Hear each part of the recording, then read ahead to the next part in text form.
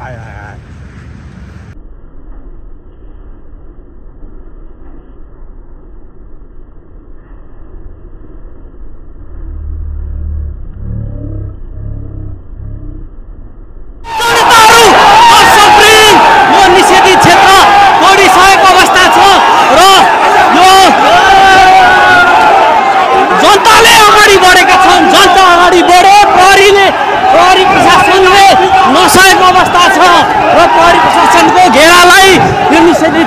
घेरालाई तोडेर अगाडि बढिरहेको अवस्था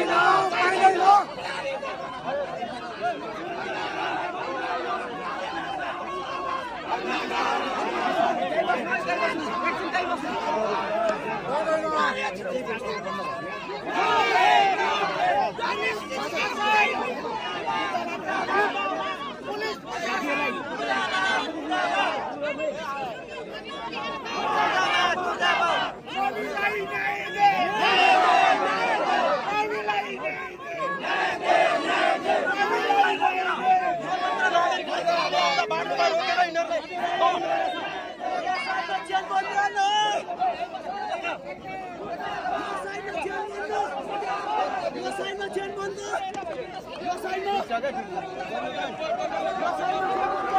दर्शक फेरि यहाँको स्थिति अहिले एकदमै भड्किलो बन्दै गइरहेको छ। खास गरी प्रहरी प्रशासनले यो ठाउँबाट आन्दोलनकारलाई हटाउन खोजिरहेको छ भने उहाँहरू यो ठाउँमा नहट्ने निचोडको साथमा बस्नु भएको छ र सरकार विरोधी नाराबाजी भइरहेको छ। हामी देख्न सक्छौँ। यति बेला राष्ट्रिय स्वतन्त्र पार्टीका केन्द्रीय यसरी सङ्गठित बनाउने काममा खटिरहनु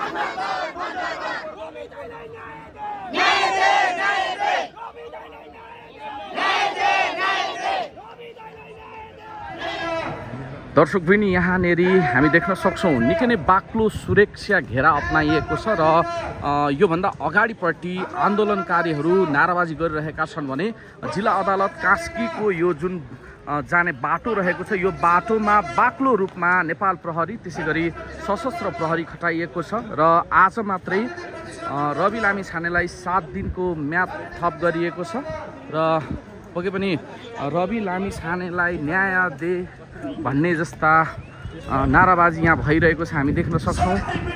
पक्कै पनि यो नाराबाजी हामी देखिरहेका छौँ र यहाँ केही बेर अगाडि धकाला धकल समेत भएको थियो। नाराबाजीसँगै प्रहरीसँग घम्सा घम्सी पनि भएको थियो र अहिले हामी तपाईँहरूलाई यो पोखराको दृश्य देखाइरहेका छौँ र आज मात्रै रवि लामिछाने जो राष्ट्रपाका पार्टी सभापति पनि हुनुहुन्छ उहाँलाई सात दिनको म्याद थप गरिएको छ र अहिलेको यहाँको स्थिति हेर्ने हो भने जुन हिसाबले आन्दोलनकारी भन्दा बढी चाहिँ यहाँ हामीले सेना प्रहरीहरू देख्न सक्छौँ।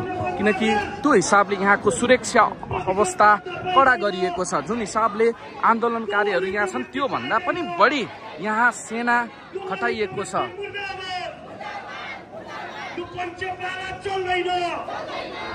र केही बेर अगाडि मात्रै निकै नै हात हालहाल र धकाल धकुलको स्थिति भएको थियो।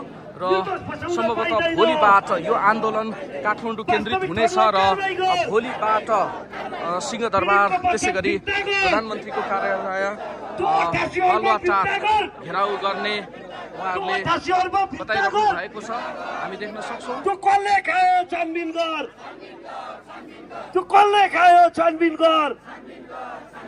यो गिरीबन्धु लुट्नेलाई जेलमा। यो गिरीबन्धु लुट्नेलाई जेलमा।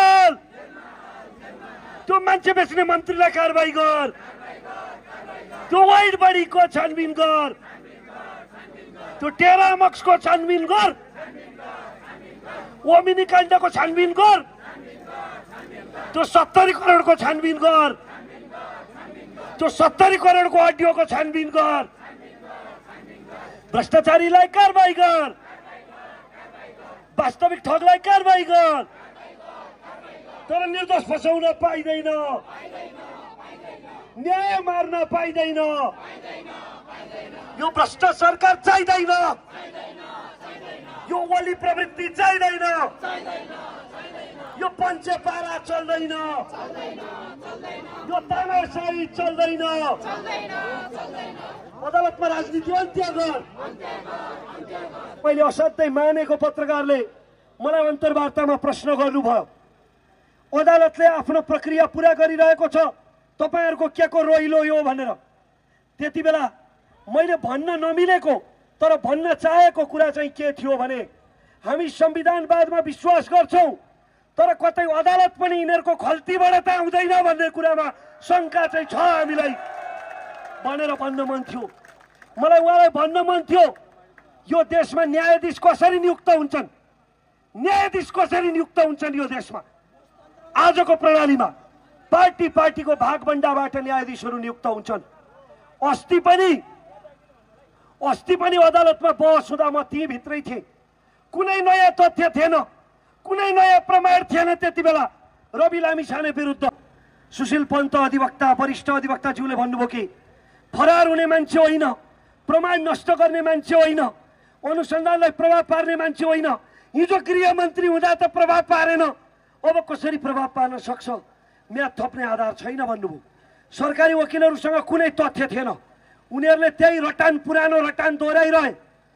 ती सरकारी वकिलहरूको बहस सुन्दा गगन थापा र विश्व प्रकाशले बिहानभरि ट्युसन पढाएर पठाए जस्तो सुनिन्थ्यो। तर तर पनि म्याद थपियो। थपियो म्याद। त्यति बेला पनि थपियो। आज पनि थप्यो। जबकि कुनै आधार र प्रमाण छैन। त्यस कारणले म मित्र तोसिमाजीको भनाइ सापट लिन्छु। सोच्नु पर्ने बेला सोध्नु पर्ने बेला आएको छ साथीहरू। अदालतलाई यो देशको संविधानले चलाउँछ कि बालुवाटारले चलाउँछ? बालकोटले चलाउँछ? सिंहदरबारले चलाउँछ। त्यस कारणले यो अत्यन्तै गम्भीर प्रश्न छ साथीहरू। यो न्यायपालिकाको शुद्धिकरणका लागि पनि राष्ट्रिय स्वतन्त्र पार्टीले आफ्नो बाचापत्रमा धेरै कुरा समावेश गरेको छ। आज तपाईँले हाम्रो पार्टी सभापतिलाई विभिन्न व्यक्तिहरूसँग तुलना गरेको सुन्नुभएको छ।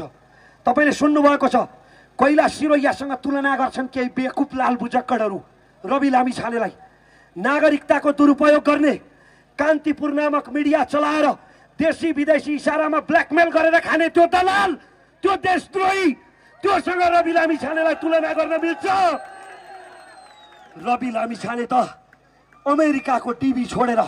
अहिले अमेरिकन एम्बेसी अगाडि गएर हेर्नुहोस् कत्रो लाइन छ त्यहाँ भिजा पाउन। अमेरिकाको टिभी भर्नको लागि। नागरिकता छोडेर अमेरिकाको म नेपाल बनाउँछु भनेर आएको सपुत रवि लामी छाने अनि रवि लामी छानेलाई तिनीहरूसँग तुलना गर्न मिल्छ। बालकृष्ण खाँडसँग तुलना गर्न गर्न खोज्छन्। महरासँग तुलना गर्न खोज्छन्। ए बाबा महरा त खाटी तस्कर हो भन्ने उसका कार्यकर्तालाई पनि अलरेडी थाहा थियो। रवि लामिछाने शत प्रतिशत निर्दोष भएको कुरा संसदीय छानबिन समितिले समेत पुष्टि गरिसकेको छ। यस्तो अवस्थामा यो देखाउने दाँत मात्रै हो साथीहरू। भ्रममा पर्नु हुँदैन। नत्र आज म्याद किन थप्यो?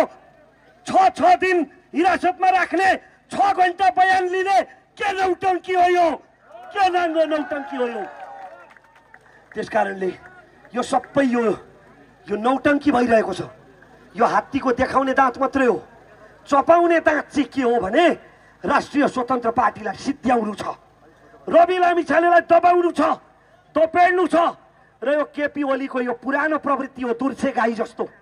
आफूभन्दा फरक विचार राख्नेलाई दबाउन चाहने। तर यो आन्दोलन रोकिँदैन साथीहरू अब।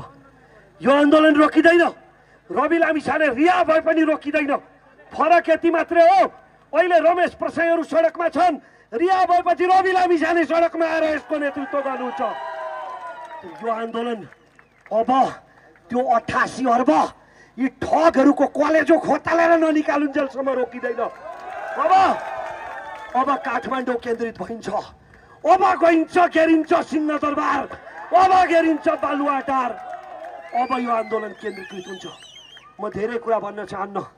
मेरो उपसभापति आदरणीय दाई डिपी हरियाल लगायतका नेताहरू हुनुहुन्छ। म एउटै कुरा मात्र अपिल गर्न चाहन्छु खास गरी पोखराका मार्क्सवादी साथीहरूलाई। मैले अघि पनि भने मैले यस्तो द्वैत चरित्र सरकारमा भएकोले कसरी आम यो सहकारी पीडितको रकम फिर्ता गर्ने भनेर त्यसमा काम गर्नुपर्ने कि सडकमा आएर राष्ट्रिय स्वतन्त्र पार्टी आम नेपाली नागरिक जो यो परिवर्तन चाहेका छन् उनीहरूलाई दबाब सिर्जना गरेर अर्को चोकमा भाषण गर्दै बस्ने। त्यसो होइन यो राम्रोसँग वर्दीको सेना वर्दीको प्रहरी हो हामी वर्दी नलागेको प्रहरी हो साथी हो। त्यस कारणले यो देश बनाउने जिम्मेवारी हामी सबैको छ। त्यस कारणले मैले साथीहरूलाई सहकारी पीडितको रकम कसैले फिर्ता गर्न सक्छ भने रासोपाको नेतृत्वले मात्रै सक्छ। तपाईँहरूलाई थाहा छ सहकारीको एउटा महासङ्घ छ। त्यहाँ कसको नेतृत्व छ? अनि उनीहरूले किन बोल्दैनन्? अहिले सरकार कसको छ? हामीले दिएको प्रतिवेदनमा किन कुरा गर्दैनन्? अनि ठुला कुरा गरेर सहकारीको आवरणमा यहाँ चाहिँ सरकारमा भएको दलले सडक आन्दोलन गर्छु भन्न लाज लाग्दैन। तपाईँको खबरदार एउटा रविलाई कति दिन तिमीहरूले आँखा छोप्छौ एउटा रविलाई कति दिन भित्र राख्छौ यदि तिमीहरूले रविलाई मार्यौ भने त्यसको जवाब मरेरै दिनेछ यदि तिमीहरूले जिउँदो राख्यौ भने तिमीहरूलाई कसरी भित्र हाल्नुपर्छ त्यसको हिसाब किताब हामी गर्नेछौँ। साथीहरू तपाईँहरूको यो हामी साँझ हामी सातौँ दिन भइसकेको छ।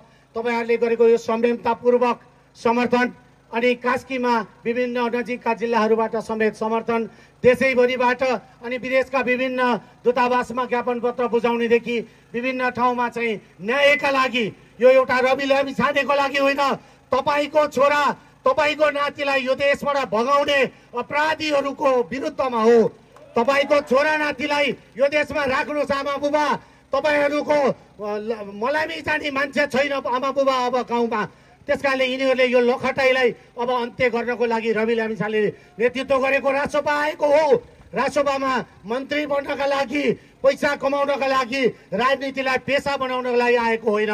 हामी आफ्नो कर्तव्य ठानेर हामीले सेवा गर्नको लागि आएको हुनाले म तपाईँहरूलाई यो अनुरोध गर्दै तपाईँहरूलाई आजको दिनको बिहानदेखि पनि तपाईँहरूको जुन एउटा साथ र समर्थनको लागि हृदयदेखि हार्दिक धन्यवाद दिँदै आजको हाम्रो कार्यक्रम कार्यक्रम यही समापन भएको घोषणा गर्दछु।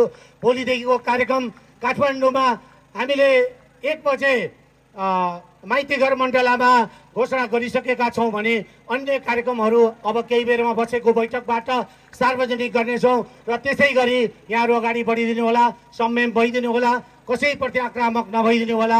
आज प्रहरी साथीहरूले केही असुल ग्यास अथवा केही एफआइआर गर्नुभयो होला त्यसको लागि उहाँहरूको पनि बाध्यता थियो होला। तुरुन्तै मैले डिसी साहबलाई रोक्नुहोस् योभन्दा अगाडि नबढ्नुहोस् भनेपछि उहाँहरूले संयम हुनुभएको छ। तपाईँहरूलाई धन्यवाद दिन चाहन्छु। यो तपाईँहरूको स्वविवेक हो। यो गृहमन्त्रीको तपाईँलाई आदेश होइन। तपाईँहरूले स्वविवेकले आफूलाई कन्ट्रोल गर्नुभयो। यसको लागि धन्यवाद दिन चाहन्छु। धन्यवाद नमस्कार।